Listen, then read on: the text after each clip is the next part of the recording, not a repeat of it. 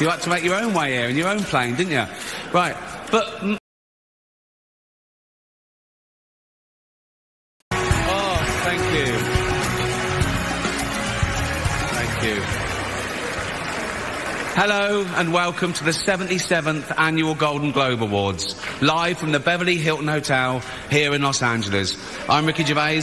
Thank you. Um, You'll, you'll be pleased to know this is the last time I'm hosting these awards, so I don't care anymore. Um, I'm joking. I never did. Um, NBC clearly don't care either. Fifth time. So, I mean, Kevin Hart was fired from the Oscars because of some offensive tweets. Hello?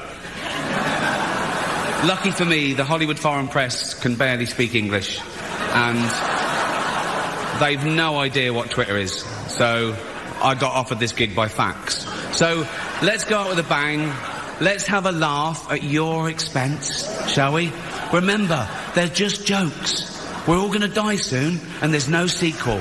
So, yeah, remember that. Um, but you all look lovely, all dolled up. You came here in your limos. I came here in a limo tonight, and the license plate was made by Felicity Huffman. So, no. Shush. It's her, it's her daughter I feel sorry for, okay? That must be the most embarrassing thing that's ever happened to her. And her dad was in Wild Hogs.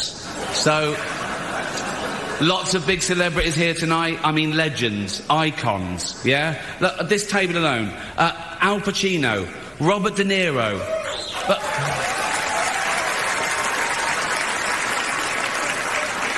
Baby Yoda. Uh, oh, that's, that's Joe Pesci, sorry. Um, I love you, man. Don't have me whacked. Um, but tonight isn't just about the people in front of the camera. In this room are some of the most important TV and film executives in the world. People from every background, but they all have one thing in common. They're all terrified of Ronan Farrow. He's coming for you. He's coming for you. Look, talking of all you perverts, it was a big year. It was a big year for paedophile movies. Um, Surviving R. Kelly, Leaving Neverland, Two Popes. Shut up. Shut up. I don't care. I don't care.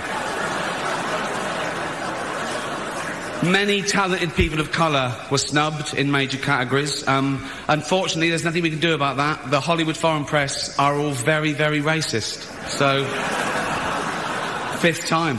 So, we were going to do an in memoriam this year, but when I saw the list of people that had died, it wasn't diverse enough. It just, no. It was mostly white people. And I thought, nah, not on my watch. So, maybe next year. Let's, let's see what happens. No one cares about movies anymore. No one goes to the cinema. No one really watches network TV. Everyone's watching Netflix. This show should just be me coming out going, well done Netflix, you win. Everything. Good night. But no, no, we got to drag it out for three hours. You could binge watch the entire first season of Afterlife instead of watching this show. That, that's a show about a man who wants to kill himself because his wife dies of cancer. And it's still more fun than this. Okay? Spoiler alert, um, season two is on the way, so in the end, he obviously didn't kill himself. Just like Jeffrey Epstein. Shut up! I know he's your friend, but I don't care.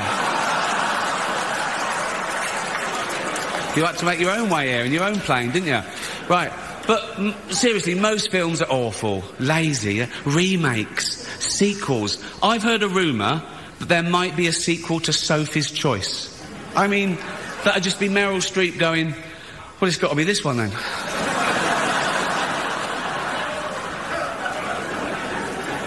All the best actors have jumped to Netflix and HBO, you know. And the actors who just do Hollywood movies now do fantasy adventure nonsense. They wear masks and capes and really tight costumes. Their job isn't acting anymore. It's going to the gym twice a day and taking steroids, really. Have we got a, have we got an award for most ripped junkie? No. No point. We know he'd win that. Um, Martin Scorsese, the greatest living director, made the news for his controversial comments about the Marvel franchise. He said they're not real cinema and uh, they remind him of theme parks. I agree. Although I don't know what he's doing hanging around theme parks. He's not big enough to go on the rides, is he? Tiny. Right. The Irishman was amazing. It was amazing. Um, that, it was. My, my, it was great. Uh,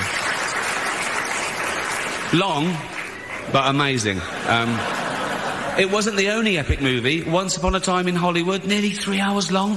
Leonardo DiCaprio attended the premiere, and by the end, his date was too old for him. So.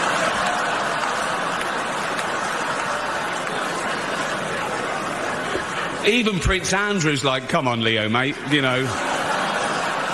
You're nearly 50, son. Um, the world got to see James Corden as a fat pussy. He was also in the movie Cats, but no one saw that. Um, and the reviews, oh, shocking. I saw one that said, this is the worst thing to happen to cats since dogs, right? But Dame Judi Dench defended the film, saying it was the role she was born to play, because she... I can't do this next joke. because she loves nothing better than plonking herself down on the carpet, lifting her leg, and licking her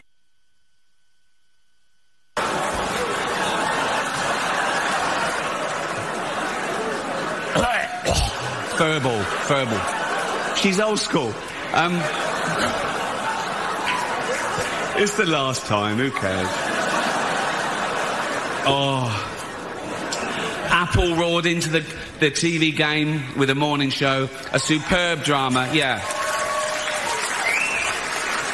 A superb drama about the importance of dignity and doing the right thing, made by a company that runs sweatshops in China. So, well, you say you're woke, but the companies you work for, I mean, unbelievable. Apple, Amazon, Disney.